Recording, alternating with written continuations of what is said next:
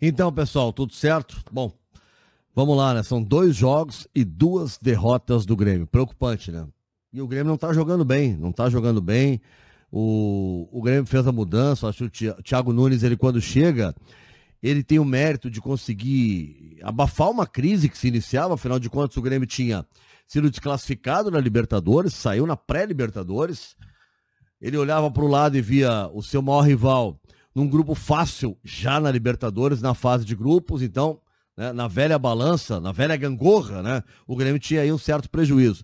Veio o Galchão, o Thiago conseguiu no Galchão fortalecer a ideia do Grêmio de, de, de supremacia regional na Copa Sul-Americana, que a gente sabe, os adversários têm uma, uma, uma, qualidade inferior. O Grêmio conseguiu manter o 100%, isso deu estabilidade.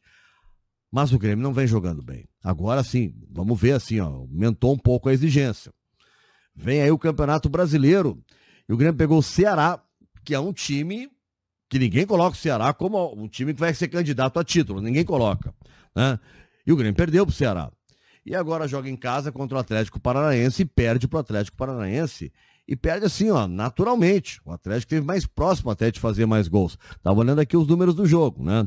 O Grêmio finaliza o jogo com 63% de posse de bola. Mas finalização no gol, no gol, o Grêmio teve uma. Uma, né? Uh, uh, em todo o jogo. Eu tô olhando aqui o segundo tempo. segundo tempo o Grêmio precisava. Tá perdendo. Precisava pelo menos empatar. Não tem nenhuma finalização no gol. O Grêmio tem a melhor chance no segundo tempo e a única finalização do Grêmio no segundo tempo é quando o Jean-Pierre, que ficou no banco, não sei porquê, ficou no banco, e ele consegue um passe para o Ferreira, aquele chamado passe entre linhas, né? Quebrando o sistema defensivo do adversário, e encontra dentro da área o Ferreira que finaliza para fora. Mas é a única finalização do Grêmio de um time que precisava pelo menos empatar e mais jogando em casa. Então o Thiago vai ter muito trabalho pela frente, o Thiago Nunes vai ter que não só fazer escolhas certas na hora de escalar o time, né? isso é só um uma parte do trabalho, mas fundamentalmente organizar coletivamente.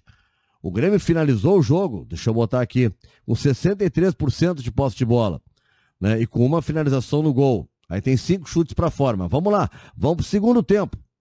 O Grêmio tem 70% de posse de bola.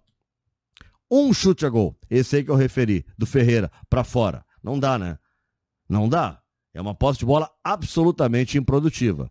Então, olha, bem preocupante. O Grêmio pode na Sul-Americana pegar um título, pode, né? Até porque o Grêmio é de uma turma superior à da Sul-Americana. Agora no Brasileirão, o começo é trágico, né? Dois jogos, duas derrotas, não tem muito tempo a perder. Agora na sequência são dois jogos fora de casa. Não tem muito tempo a perder. O Grêmio precisa se organizar. Hoje foi realmente uma derrota daquela de chamar atenção.